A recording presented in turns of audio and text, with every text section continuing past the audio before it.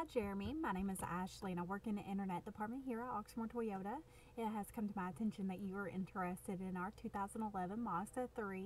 This one is still currently available. Please let me know a time that would be best for you to stop into the dealership. I'll be happy to schedule an appointment.